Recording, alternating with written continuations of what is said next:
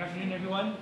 Good afternoon. My name is Dan Russell, and I'm normally the guy who would give the introduction to David Woods. And I would mention his work with nuclear power plant control panels, and I would mention his studies at NASA with you know human error and failing systems and building resilient. But I do that. Instead, I'm going to let him do his own introduction.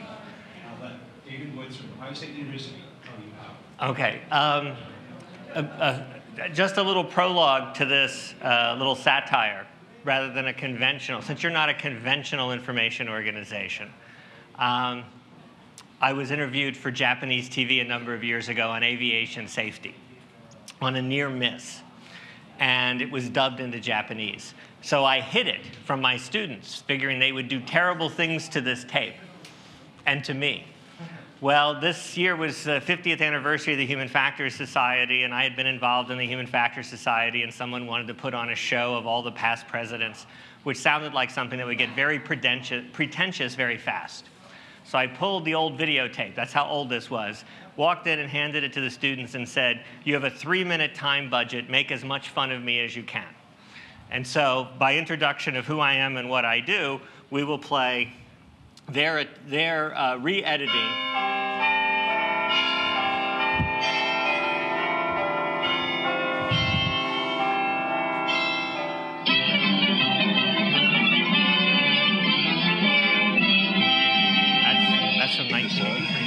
Solution pour... Cocu panique 第5弾 La queue de l'appareil a heurté la sondée. 史上最大の危機起こりうる最悪の事態恐怖の垂直落下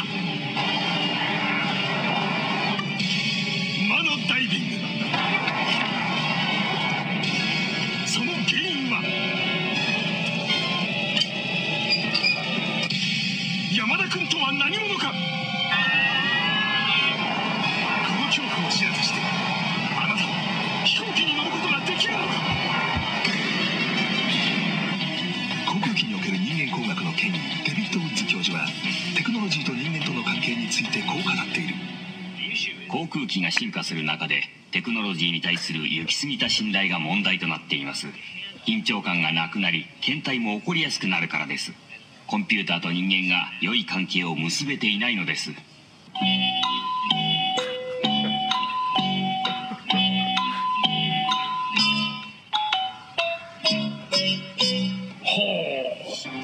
集中力を欠いた状態で何らかの操作を必要とされるとミスが起こる可能性が高くなります。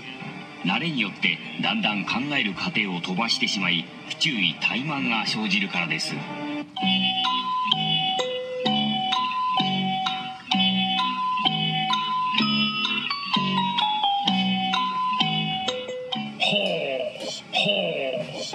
コンピューターに代表されるテクノロジーに過度に依存することで不注意怠慢が生じるのはこの機長に限ったことではなく誰にでも当たり前に起こること誰もが陥ることなのですほう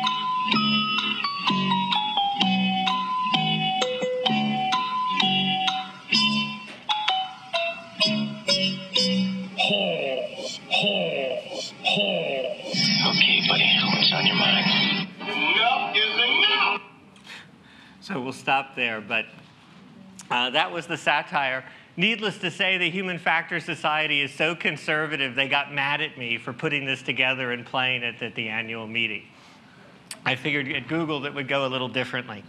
Today's topic, though, is uh, something that you enable people around the world to do, and that is to do new forms of information analysis.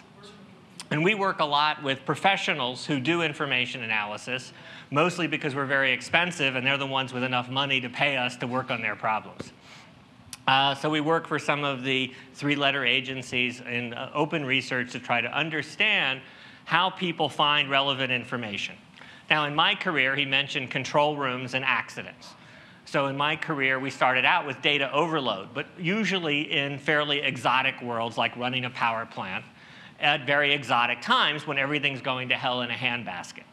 Today, successful companies like you have made everybody's experience every day like a nuclear control room during an emergency.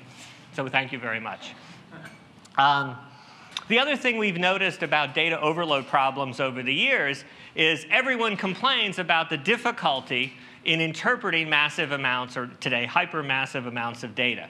So when you say to them, oh, well, let's take some of that access to data away, you think they go, oh, sure, I can't interpret it all anyway. And of course, they all go, no, no, no, no, don't take. We worked hard. We waited for a long time to have that access to all of those forms of data. And we use them some of the time. Please help us with interpreting all of that. Um, so, our work with the professionals moving away from cockpits and control rooms and operating rooms where we have tended to work uh, happened one day when uh, somebody came to visit me from one of these agencies a, a decade ago and said, We should work on data overload. And we said, Oh, sure, we'll be happy to work on it as long as you let us work on it two generations ahead. Right? Because you were constantly being trapped in band aids and repair processes. So um, we got involved, and we've been doing a variety of kinds of studies with professionals. So we don't go off and just ask them how do they do it. There's a lot of books out there where a so-called uh, expert at information analysis will write a book on his own or her own psychology. Call it the psychology of intelligence or intelligence analysis, and they do their own sort of folk uh, uh, psychiatry on themselves. What we do is we go off and study how real people solve real problems. So we work with real pilots, real physicians, real professional analysts, and we do that because we obviously, in this case, have a big barrier the wall of classification for many of these people. So we create difficult scenarios, and they're modeled on real world cases. So, one of the real world cases that occurred uh, that made us think a little differently about some of the results we had been getting was the Columbia accident. How many of you have looked at the Columbia Space Shuttle accident? How many of you looked at it in detail? How many of you read the return to flight report? How many of you have read the seven page dissent, seven or eight page dissent within the return to flight report? Anyone noticed the dissent? They buried it as an appendix because they didn't like some of the people saying they were doing a bad job during the return to flight decision making. Well, this is the situation. This is one of the uh, PowerPoint slides. Uh, how many of you heard Tufte's critique of PowerPoint? Okay. Um, so this is one of the slides he refers to in the run-up to Columbia, where someone presents this analysis. And the question I would ask you, is this a rigorous, can you tell from the slide, is this a rigorous analysis? Or is this a shallow analysis? And, yeah, I should. Um, and so there are a variety of things here uh, that look like someone has done a detailed assessment. Uh, there's been no changes. It mentions there's a probability that it hasn't changed. It's now safe to fly with no concerns and no added risk. It implies there's been a, an updated risk analysis. It implies there was a risk analysis. Hmm? It implies that they've done a careful understanding of the boundary conditions. Now, most of you know that this is all fake. This was one person's opinion all right, put on a PowerPoint slide to create a convincing argument there was nothing we needed to do. In other words, these foam events that were occurring regularly pre Columbia didn't add safety issues and therefore it wouldn't slow down the schedule. They were operating under faster, better, cheaper pressure. And so their concern about foam events was about how to re, uh, refit the orbiter to be ready to launch again. So they were all orchestrated around schedule. And if you go through the Columbia report, um, there's a couple episodes of this where people couldn't tell that they were making decisions on a very shallow basis. So here we have some leading engineers, some highly specialized people doing a very specialized and risky task, falling into the trap of shallow analysis. Um, do you ever fall into the trap of shallow analysis? Um, anybody, um, you know, teach younger kids, right? Which is, right, if you type in a, a query and you get something that's on topic that seems to support your need to write a short paper for your teacher, then you're done. Hmm? Um, if you ask the professional analysts, they are very, very concerned. In fact, we think that our definition of a professional analyst is someone who is, who is afraid that the analysis product they're going to create will turn out to be wrong. If they're very, very afraid of shallow the risk of shallow analysis, that's what we think makes a true professional versus the, all of us being able to grab on-topic material and quickly throw out a result. How do we tell what's rigorous? So we went back um, after the Challenger case. Oh, and by the way, in the return to flight dissent, does anyone know the definition of rigor in the return to flight? Return to flight dissent? Uh, they say uh, strict adherence to a standard. Any Bayesians here? Bayesians? What would you call a rigorous decision analysis? Following Bayes' rule. well, some of the statisticians or the decision people, the formal decision modelers would say rigor means you follow the rule we think applies or the algorithm that applies to that situation. Well, we decided that, that looking at the risk of shallow analysis and how would someone interpret the, whether or not an analysis was rigor was an important leverage point in improving information analysis generally, whether it's specialized for one community or, or for any kind of task that matters to people. So what we did, yeah. Yeah. I will. In fact, we will show you. Uh,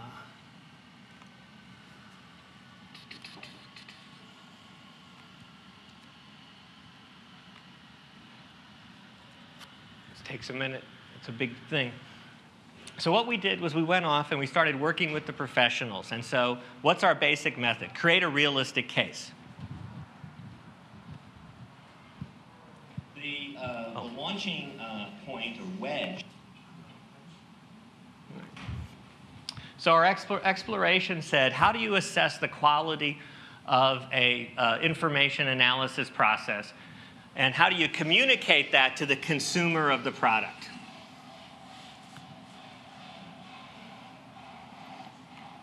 So we started with this definition, and let me turn off the sound because this is something we use as a multimedia tool.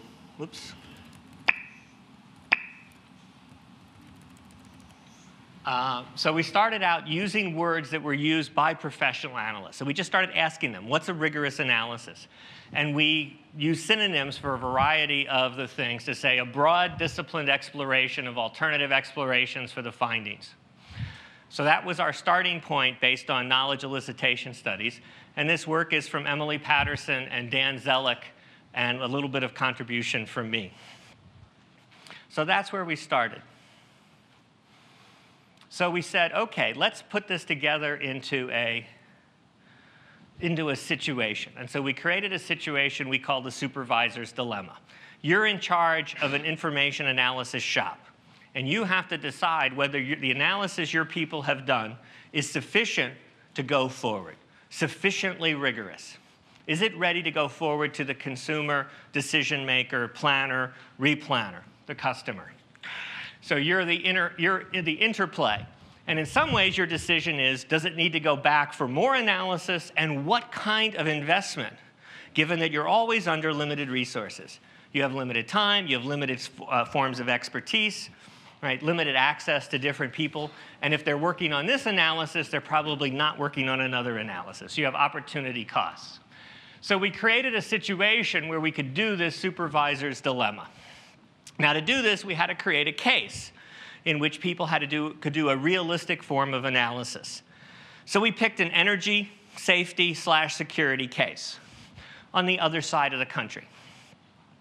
Uh, liquefied natural gas is a growing new form of energy. Basically, you can get natural gas from other parts of the world and ship it in a liquefied, cooled form. But that means you have tankers with this stuff, and they have to come into some kind of terminal. And this is particularly interesting for energy supplies in the Northeast US that doesn't have good access to alternative supplies. So, liquefied natural gas is a new energy source. There are safety issues with it. Why is liquefied natural gas a safety issue? Because it has a lot of energy. If it's very efficient, a lot of energy. So if it gets out and ignited, it can create a very intense, very quick spreading fire under just the right conditions. So you have your classic safety stuff. So it's a great topic for analysis. You've got energy, you've got NIMBY, not in my backyard issues, where's the terminal going to be? You've got cascading failures potentially. Right? So we've got a lot of different factors, and then you throw in the wild card, security. What does security do? Is it changes all the assumptions in your old safety analyses. And in fact, the adoption of liquefied natural gas slowed down because of, of security concerns, that someone would deliberately try to attack one of these tankers and create an intense big fire and secondary fires that from the other facilities that would be engulfed. So it is a great case because it changes the whole uh, basis of your old analysis, and you have to rethink things. So the opportunity for revision, getting trapped in old ways, is there. So we created a liquefied natural gas scenario. and We've been using this in several different studies we've been doing, looking at the actual performance and behavior of analysts. Um, so there's the liquefied natural gas scenario. And then uh, we brought it together with the uh, supervisor's dilemma with a, a, walkthrough process that we developed in a previous study of information analysts, which was we used it uh, elicitation by critiquing. So the situation we created for studying and getting information was to say, you're a senior analyst, you're going to critique a junior analyst result. So we give you the product, and in this case, we'll also then give you a process, and your job is to critique it. In this context of the supervisor's dilemma, the specific decision you have to make is, is it ready to go on to the customer? If it isn't ready, what would you invest in? Right. So the, uh, the walkthrough in this case, we created two junior analyst reports. One, we worked on to create a low rigor example, but realistic analysis of the liquefied natural gas situation, energy safety slash security. Um, it's also a nice example because you can play with different perspectives from the local responders, reg energy regulators, uh, safety, uh, local government, uh, environmental, uh, energy business, and so the different perspectives makes this a nice case to use in our studies as well. So the second analysis was uh, based on one that was actually done by a security company, the former um, counterintelligence or counterterrorism czar Richard Clarke's company did an analysis of this case for the Boston and Massachusetts, and we built on their analysis to create a, what we thought of as a high rigor example. Okay, so we have a low rigor, high rigor example. The method then is you're the supervisor, you've got to make this judgment. First critiquing pass, we give you the product. The second critiquing pass, we give you a summary of the process by which the analyst created that product. So these are fictive junior analysts. They're not looking at them directly. They're looking at first their product, second pass their process, and they have to make judgments. And we build in a variety of probes into the situation and into the contents in order to be able to get uh, elicit more information and be able to orchestrate the information. Now, what's interesting from this is um, a couple things. And we actually just finished the papers on this, so you can actually get uh, this topic landscape's a little bit old when we produced it, so you can, I can leave a copy of the summary of the results if you're interested in this. Um, so if you go back to Tufte's critique of, of analysis by PowerPoint, right, in some ways this is empirical data that might support or revise or overturn some of the claims of different people in that discussion of the weaknesses of analysis by PowerPoint. So we've got some real data. Well, the first thing in the findings is, is that in the first pass, people made a judgment about was it rigorous enough based on just the product information. And we got some of the cues they used. What was interesting is once they got the process information, they changed their mind about what was rigorous. So knowing the details of how you got to the end result mattered. And if we went into the details, some of those issues become important in terms of revealing or making observable the analytic process in supporting a judgment of rigor. What are some of the things they would be looking for? Well, we're going to come back to this with a new definition of rigor, or shallowness, low rigor versus high rigor, deep versus shallow analysis. Uh, so a good, a simple example would be the breadth of exploration of alternative interpretations. Did they generate alternative interpretations? Did they explore them? Another would be critiquing. Did they show it to other, other uh, peers or other groups who would have an opportunity to comment on or critique the, ana the analysis results of the junior analyst? So they were relating to some of these cues, and I'll, I'll, I'll integrate those findings in the, in the new model, the multi-attribute model of rigor, shallow versus deep. Um, we also had a big surprise, which is after they saw the product, some of the six of the nine analysts were ready to send it on. I believe that's the correct number. Once they saw the process, none of the analysts, none of the, the, the supervisor, people acting in the supervisor's role, were ready to send on the anal, either of the uh, analytical reports. Once they saw the process, they decided neither were ready, which surprised us because we had worked extremely hard, all right, to try to make these both realistic and different in level of rigor. So there was a, a, simple example would be the low rigor involved a much smaller set of documents that were examined in order as a base for the analysis. And there was a much broader exploration of document sources, documentary sources for the high rigor example. But in the end, they said that both of them were, uh, were inadequate to go forward. And that was a surprise to us. And then we went back and reanalyzed our, anal- our, our the, the, uh, the, the fake analyses we did. And I'll show you those results in a minute. So let's jump back into this issue of what's rigor. Um,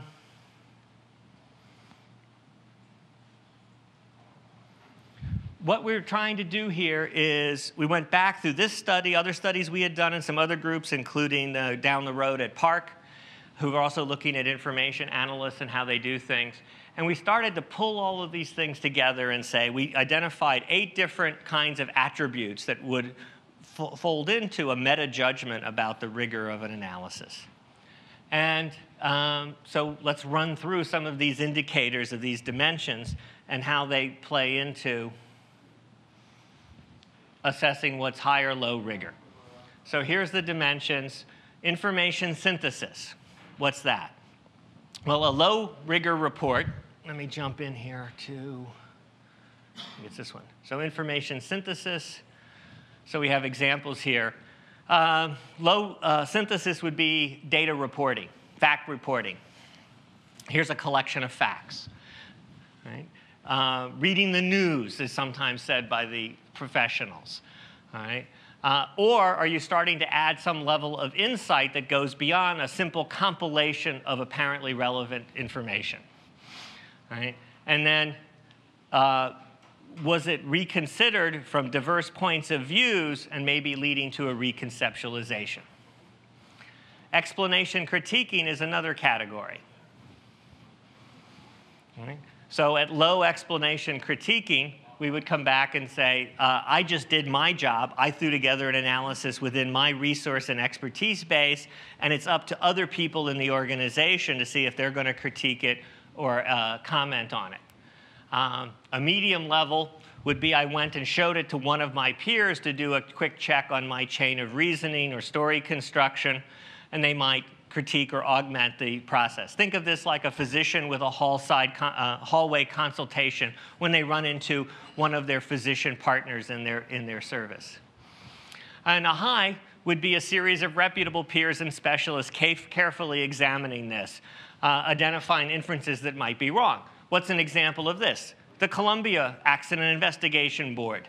They didn't just form a reputable panel, Right? The reputable panel had diverse backgrounds related to the accident, but they convened a series of symposia and brought in a series of consultants, myself being one of them, to check their reasoning and logic, expand on it, reinterpret it. So here you have a high rigor examination in the context of the uh, accident investigation. Um, we can go around. Hypothesis exploration.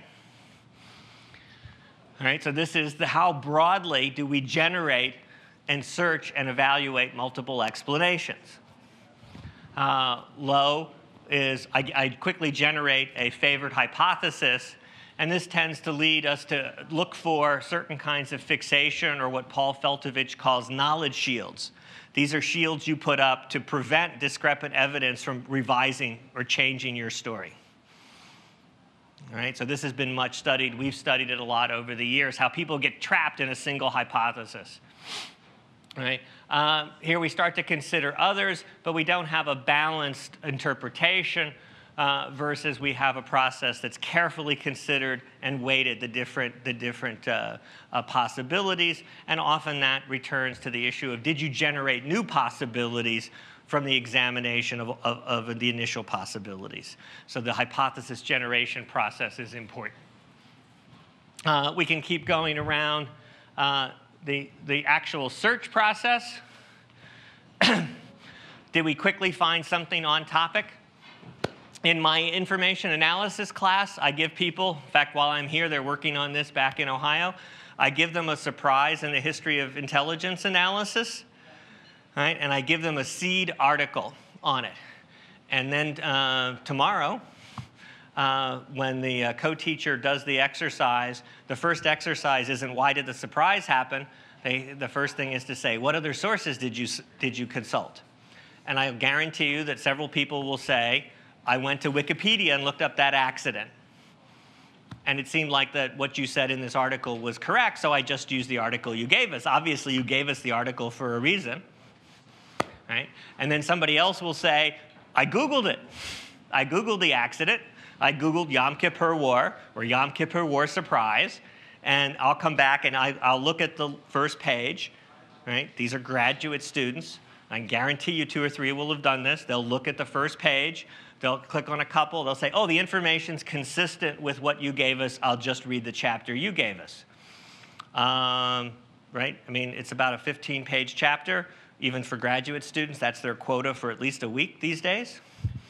All right? In actual text form, right? As opposed to multiple Facebook interactions. Uh, you know, that's why we're moving to multimedia resource sets here with video clips and things because we don't find people read anymore. So writing a long paper on this is only for me to, to uh, support people with grayer beards than I have who still want to evaluate professors by academic publications. Um, and, uh, and then you'll get somebody who will go, wait a minute, this is in the defense, this is military history, and they'll go look it up in a military history guide like Jane's, all right? and they'll go, yep, you gave us a good source, and they'll still read the one chapter. And so that's the information search kind of issue. Um, one of the things we've seen, even with professional analysts, is they will often simply funnel down on a relevant set of material that's manageable for the resource window they have. And they will then adopt a few of those as key resources in the analysis. And of course, if those turn out not to be complete, accurate assessments of the events in question, their, uh, their uh, explanations or projections about the future will turn out to have flaws in them. And again, we have empirical studies with professionals who have 10 to 20 years experience indicating these traps of shallow analysis can get any of us, not just high school students. Um, notice the difficulty in the information search, and to some degree it's a difficulty, the whole shallow versus deep low versus high rigor problem has. And it comes up particularly here. How do you know, how do you get a sense whether you're going to find stuff? Because if you already knew what to ask for or to look for, you would have already included it in your search. So there's this sense of have I really looked for other material and would anything be promising if I put extra effort in? Hmm? This means that our, one of the risks we're worried about is premature closure. And the concept that we originally came up with was in observing expert analysts was they usually include some kind of broadening check. They have some kind of heuristic they use to look a little far, further afield, to look an extra time, to generate a different topic or a different twist on the search in order to reduce the risk of getting trapped in too narrow a set of resources to build their case, their explanation or projection. We can keep going around uh, information validation. Uh, this refers to what the analysts usually talk about the conflict and cooperation process. Right? did you just accept a report um, in the liquefied natural gas? Is it easily ignited? Some sources will say it's easily ignited. Others will say it's hard to ignite. Mm-hmm. That's a vague interpretation. How do you push behind that? Did you identify conflicts? Like there are sources that from the industry would say it's hard to ignite, and they're from environmental groups which say it's easy to ignite. And how do you notice that conflict and then pursue that to get some cooperation or better technical detail? Um, uh, I found one that does, sounds good. The issue here is sort of a suspicious attitude. Remember, I said I think our, our, our working definition of a professional is one who's afraid they're going to give you the wrong answer in their information analysis. And that comes out very much here in the validation. Very much a, a suspicious attitude. And the, uh, the journeyman or new professional analysts who come into these organizations often end up doing a kind of cut and paste where they find on topic materials, cut and paste them together to create a kind of composite storyline. But you don't see the active, what they think of as the analysis process is how do you detect conflicts? How do you find corroborating sources to build confidence? Hmm. Uh, stance analysis. Remember, I said in the liquefied natural gas example, as you work through the analysis, there's multiple groups that are relevant to it and they have different stances. There's the obvious energy company versus environmental group, which we tend to think of as, as opposing stances. Uh, but a national perspective right, can be quite different than a local responder perspective. A uh, regulatory perspective can be different than uh, the business perspective. And so, what are the stance of different sources, right? And why would they emphasize certain things? So the, the uh, Sandia lab safety analysis is based mostly on old fault trees, right? which tends to say it's a very safe form of energy transportation. What? What's the problem? Security issues change the fault paths. And can they get out of the old mindset and sort of see new ignition sources, new ways that things could spread, new ways that things could go wrong in these situations? Um, so stance analysis refers to, are you understanding the perspective and background? If you get a source that, you know, for example, an environmental source that opposes every energy development that's carbon-based, right, well, then it's not much there's not much information if they oppose this. Mm -hmm. So you'd be looking for variations against the stance. Uh, an example in international affairs is uh, what does a leader uh, from another part of the world say in English versus what do they say in their native language. And a stance analysis would look at the difference between what they were saying in the different languages to the different communities in order to understand their actual position. Um, sensitivity analysis. This refers to a lot of the things we do in mathematical studies um, and simulations and analytical codes. A lot of times they're used for sensitivity analysis. Basically, in the uh, that what the professionals do is they look at, if they're high rigor on this, what they do is they look to say, if something is wrong in the base for my story, will the story fall apart? Right? If one, of the key, if one fact is key and the whole story hinges on that one fact being true, right, I don't have a very rigorous analysis. It's, got, it's poor on a sensitivity dimension. Right? So I'm looking for an analysis that's robust because there's always uncertainty in the core underlying facts and interpretations.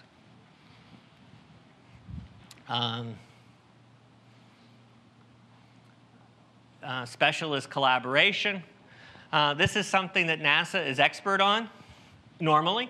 It didn't happen in Columbia, which is one of the mysteries why it never got to mission control uh, because Mission Control is, fa in fact, a expert organization at doing specialist collaboration. Remember the front room you see on TV? Those aren't the real operators, those are the supervisors. Each person in the front room, right, is in charge of a back room. And each back room is potentially connected to specialist people all over the world who have expert knowledge on detailed aspects of the processes and components of a space shuttle and the payload and the mission planning. So specialist collaboration is how do I get the right kind of expertise and bring it to bear given the situation I'm dealing with. often information analysts are thought, think of themselves as kind of generalists. And the generalist, the mark of a good generalist is knowing how to get the right specialist and integrate the specialist's knowledge in the overall interpretation. So here we've gone through eight categories that try to take this thing and say, what's the definition of a shallow versus a deep, or a rigor, low rigor versus a high rigor analysis? Now, what's interesting here is notice we're not saying adherence to a particular ideal process. Mm-hmm. We're not coming back and saying you should do it in a particular way mathematically. There's a particular decision analysis process. There's a specific cognitive psychological process that should be followed to do good information analysis, in part because information analysis is such a broad and diverse set of activities in so many different technical and human areas. We can vary in purposes, context, resources, access to expertise, and so it seems to have a, quite a different set of flavors. In fact, if you ask the professional analysts, what are they always saying to each other? Oh, my analysis is different than your analysis, right? Uh, uh, you know, um, you know, I do country studies, you know, and you'll come back and say, but I, I actually come up with a plan to what to do next. And somebody else will say, but I look at healthcare. And somebody else will say, but I look at financial information. And each area, just like Boeing versus Airbus in, in cockpits, emphasizes the detailed differences of their special home base of information analysis, rather than looking for the general underlying commonalities as a form of work. So we think that the rigor multi-attribute metric gives us a mechanism by which we can quickly score and understand our portfolio of information analyses. What are we doing? Are we tending to be shallow? All right? Are we over-investing? Could come up in some places. Let's take a place where this matters to you, well, probably not for 15 years, most of you, and that's healthcare. One of the studies we're doing right now is we're analyzing accident reports, adverse events in healthcare. And what we think we're going to find when we finish the study is that most of the adverse event analyses done in healthcare to try to avoid injuring you in the process of giving you healthcare when you need it are, in fact, highly shallow analyses. When you compare, uh, does anybody remember the Duke transplant death? At exactly the same month as the Columbia accident, Jessica Santillan died in Duke Hospital due to a botched liver um, heart, heart lung transplant. It was multi organ transplant uh, which, by the way, means at least two other people, unnamed people, died because they tried to transplant her again. And given the lack of organs, that means two other people waited longer on the list and didn't get organs. So at least three people died in that event. The accident report for Columbia involved a prestigious committee orchestrating a year's worth of intense resources uh, around the world, high rigor on almost all of these dimensions. Jessica Santillan case, we had press releases vetted by the lawyers for Duke University hospitals. Right? The opposing position was uh, news, uh, newsmen's reports trying to get behind the veil of secrecy, the wall of protection that was being put up by the hospital. Well, it was this one, one small mistake, and it wasn't really a bad person who did it. And so in one case, we have a very shallow analysis with low confidence the organization learned and changed.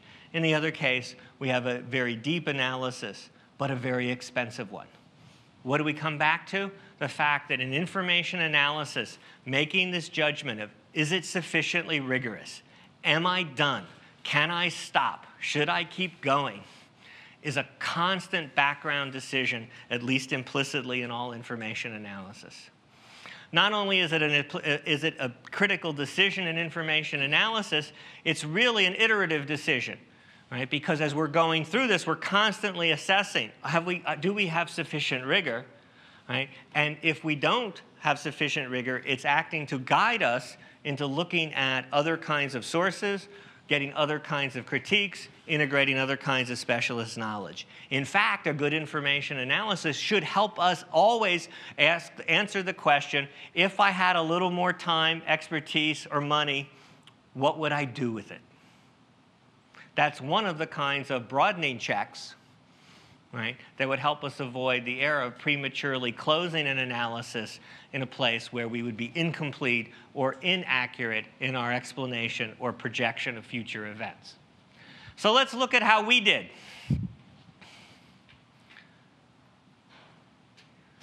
Um, in the study, we set up two fictive junior analysts with a low rigor and a high rigor case. After the study, when we were surprised that we, that was harder to do than we had thought, we went back, used this. This was the third revision of our, of our rigor multi attribute metric.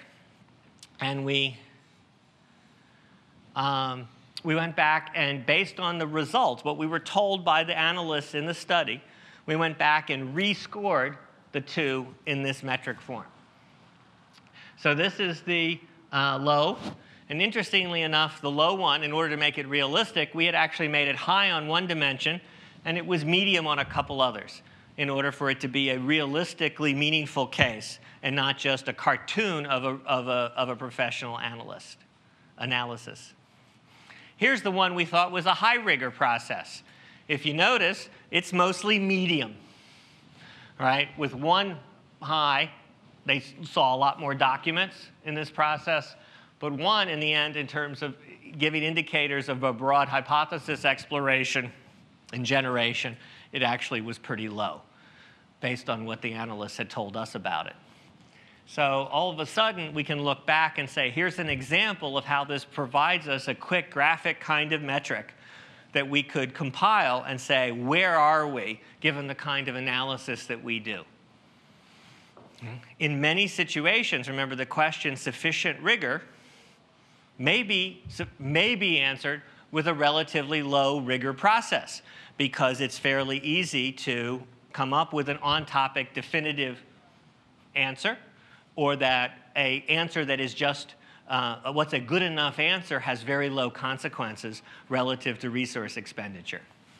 Or we may find that in some cases, being high on only one aspect of this is critical, again, given the nature of the resource to criticality of the analysis. So this gives you a tool that's context sensitive. It doesn't impose and say, this is the right answer.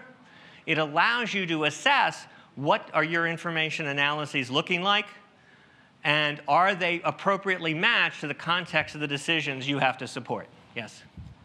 Uh, with these two scenarios, on any dimension, I could see how one process could be compared to another. Um, but I'm not so clear how you could rate a process on an absolute scale with any of these. Um, that's right. So we're doing these relative, and that's why we used as anchors, if I go back, for the uh, scaling process that we're working on, we use these kinds of anchors, um, which are based on example statements from actual analysts from different studies we've done. So if you ask the analysts to describe their process, all right, if we have a relatively low one on the synthesis, these are the kinds of statements we would see. And these are some of the kinds of indicators if you looked at the process they went through. You would see lots of lists. Um, you would see lots of facts being taken in isolation rather than embedded in a, in a narrative structure. So we're trying to build up a set of cues that you could actually use as a pragmatic tool.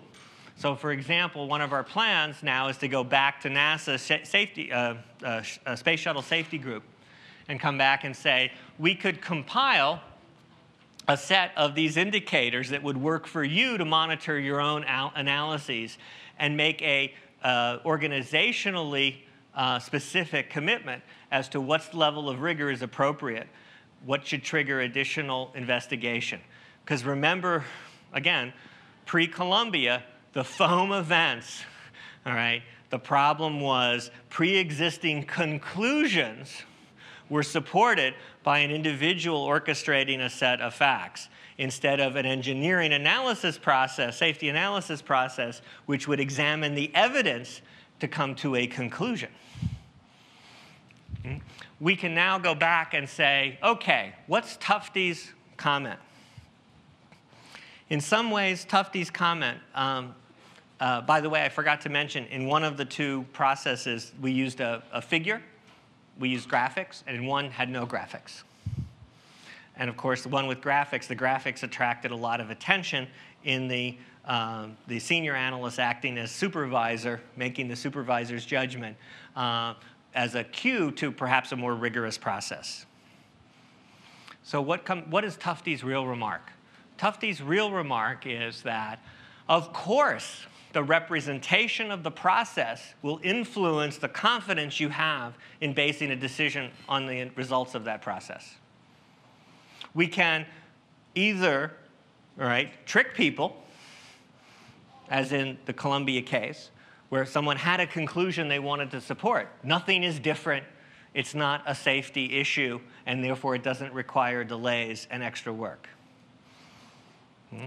Or we can right, orchestrate the image of the analysis to make the process observable so that someone can see into critical aspects of the analytic process that are related to a more effective analysis, a more trustworthy, a higher confidence, a more rigorous analysis.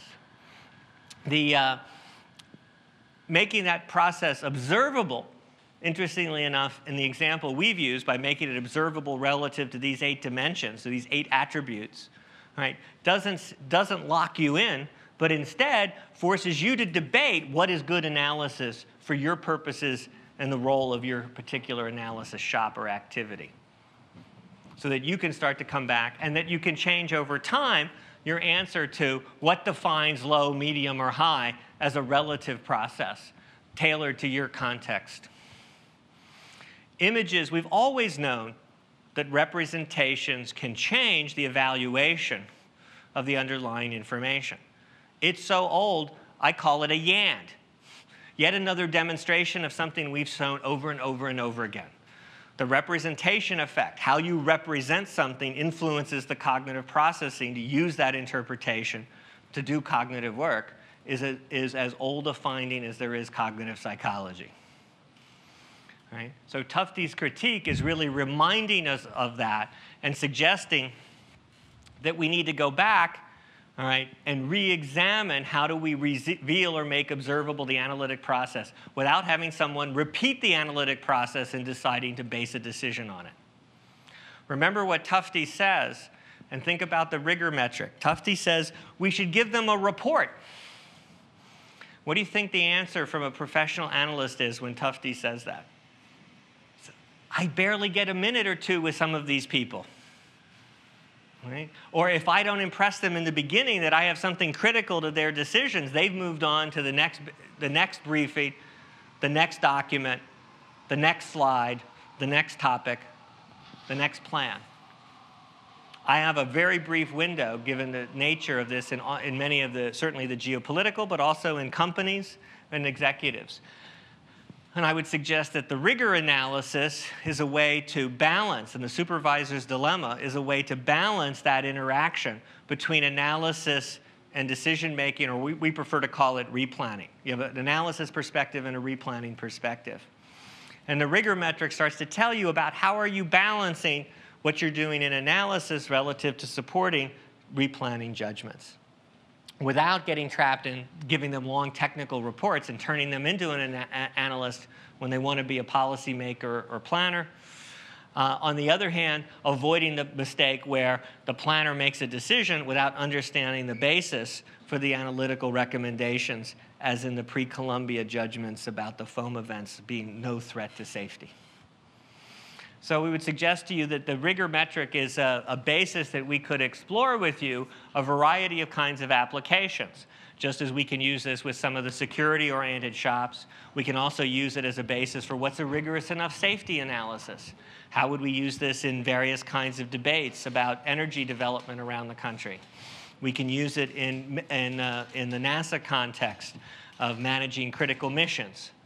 Right? So we think this has a fair power of generality and it can be customized to specific settings and becomes, again, a learning tool that can be updated and changed as new information comes in. So um, that's the kind of stuff we wanted to tell you about, about the current state of our information analysis work.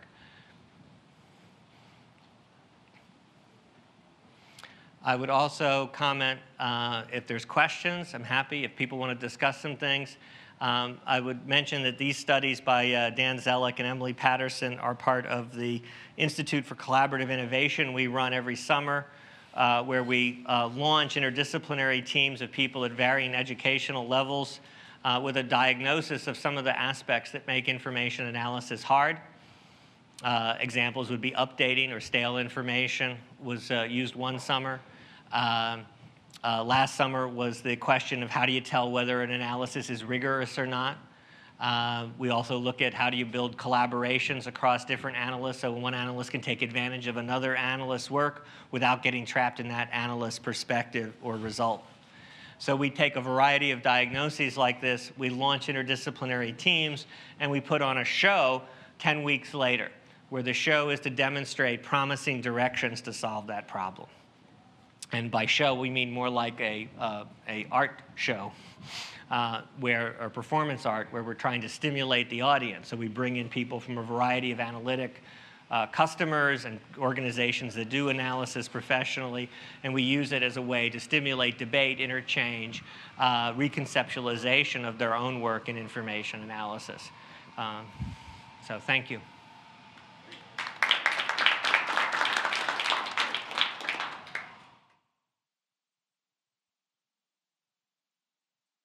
high rigor doesn't come cheap. Yeah, Look, it's a lot more expensive. yeah. I mean, do you have anything to say about how you decide when you've done enough? Or is there a way to get higher rigor, you know, better, faster, cheaper? Or is that just not a good idea? Um, one of the things we're very worried about is the issue that, as in the Columbia example, that it's just long and expensive to get a high rigor. And if you spend a lot of time and money, you will have a high rigor result. Um, and so we're looking at a variety of poor, uh, a, a good resource for us is a variety of poor accident analyses. Uh, so we're looking at uh, a, radio, a radiological event in Scotland that had a very elaborate, long-winded uh, accident analysis that's not very good. As an example of something that spent a lot of time and money, but wasn't very rigorous relative to these dimensions. So we're exploring the sensitivity of the rigor metric to discriminate the quality or the depth of the analysis independent of the easy correlates. They spent a lot of time, they spent a lot of money, they had a lot of people on it. Um, on the other hand, uh, certainly a shallow analysis, it's hard to do uh, more than a very shallow analysis if you don't spend some resources. So our view is this is a tool to calibrate your resource expenditures to this context you work in. And the answer will be different for different shops. So a, a space shuttle mission might be very different than someone making uh, investment decisions. Though if it's your money that's being invested, I think it might be about as critical as if you were on the shuttle, right? Um, uh, the, uh, uh, the other issue we bring up in this is, is that there are other criteria that go beyond this to decide whether or not you've made a, the right resource investment. Uh, so our recommendation to safety organizations is to have a balanced portfolio. Right? If you don't have some highly rigorous analyses, you're probably not learning as much as you could or should to prevent events, bad events from occurring. If you're all relatively shallow, or if they're all shallow and, high in the same, on the same dimensions, you're at increased risk of missing cues that could have warned you about early signs of trouble or, or partial events that might be indicators of full-blown accidents and disasters that might be ahead. So our view is it's a tool in that sort of cost-benefit resource investment versus learning uh, decision that every organization has to make. This tool doesn't help you make that learning investment trade-off, but I think it's a, a critical tool in an organization making that trade-off. Yeah. So, um, suppose you wanted to say something to companies like Google, who, we're not solving this entire problem, and I don't think we have anything to say about things like stance analysis or explanation critique, but we're certainly contributing to you the problem solution. What would you like us to do differently to make it, these things to happen better? Well, uh, you create the opportunity for information analysis by people who have less experience. So the issue is, can we orchestrate the tools, in the artifacts they would use and the methods they would use to encourage people to do a broader set of, of uh, explorations, a higher rigor. So we do have suggestions for you. All right, and Uh, one of these is something we're working on, which I wasn't really going to talk about. Uh, but one of the examples that come up from this is a kind of diversity search. And so we're playing around with different definitions of what would be, how would you do a diversity search where you're trying to identify that from different, different perspectives would define relevance to your topic differently. And therefore, you would come back and now have a, here are a couple different interpretations of the query. And people, by sampling from those different stacks or lists, high relevant, because they're still only going to sample a couple things at the top. We know people are going to be trying to minimize effort, right? And as they try to minimize effort, we're trying to make sure they get a broader, or at least the possibility of a broader return of different perspectives. So that would play into the hypothesis generation, hypothesis exploration. It may also lead them to expand the search and to do a little more validation because they start to see that they might start recognizing something's in conflict. So several of these dimensions might naturally get better if we could come up with mechanisms that would implement a kind of uh, diversity, or what we've been calling it is tuned diversity search, because we're tuning it to the nature of the query and the underlying topic and purpose. And the question is, can we build that into search tools? Or do we need other kinds of information about the purpose of a search in order to do this kind of diversity mapping that would encourage a broader, uh, uh, a broader exploration? Um, the other side of this is, uh, I think whether we like it or not, and I'm an old fogey, I, you know, truth in advertising, right? No hiding it here, gray beard. Um, you know, I'm in shock. Every day, uh, from my high schooler at home, who does a quick Google search on her homework, finds on topic material, and is done, to graduate students in, uh, in, you know, who are going to be professionals dealing with usability and cognitive, uh, uh cognitive decision support systems and stuff how easy it is for everybody because we have so much access to stop too early and to not use discipline mechanisms to broaden the search. The, by the way, the professional analyst organizations tell us they have the same concern about their new hires, that their new hires, fair amount of experience intellectually and academically, the difference between them and a, and a seasoned an analyst is the new person, is, they're not new in age, they're not new in academic or topical experience, uh, but what they are is way overconfident that what they initially find is a complete basis to build an, a, a, reasonable and acceptable story and projection for the topic they're assigned. And they're constantly worried that these guys are, and ladies are prematurely closing and have, have inappropriate confidence. They're overconfident that they have a good analysis and they're insensitive to some of the cues that would tell them they have a, they're in danger of a shallow analysis. So at all levels, I think the danger of shallow versus deep analysis is the side effect of the easy access to massive quantities of data. You want to? Actually, last, last question. Okay, real quick. So I guess, um, you know, these are like nuclear disaster and stuff like that, but typically there's a cost involved in, in things. And if the cost for your high school high schooler who needs to turn in that paper, the cost of being wrong may not be so great in some cases, right? And right. So, th th is there any basis to figuring the cost of being wrong one way or the other way? Well, that first off, we think that's the point of using these. You can use these tailored to the consequences in your context. Right now, for the for the student, I think there's a different consequence, which is if you learn shallow analysis techniques, you'll always be satisfied with shallow analysis down the road. So there's a different consequence with respect to do you do get an A or a C on your paper uh, relative to this being a general form of literacy for the public. Um, but the second thing is one of the, this is one of the comments we always get about our research, right, right? Which is, well, you talk about planes falling from the sky and things going wrong in the operating room. I don't deal with high consequence things like that. Well, what, what do you mean? Wait a minute. Consequences are in the eye, the seriousness of the consequences are in the eyes of the beholder. If it's your investment portfolio that goes down the tubes when the financial landscape changes because people reacted to the trends too slowly, that's your house fund in California, right? That's a pretty serious thing. Uh, it's, you know, it's the, you know, I'm just past the college, uh, the college investment, but it would have been the college uh, savings for the kids um, it could be that, you know, under, the, under some of the political initiatives, it could be your retirement.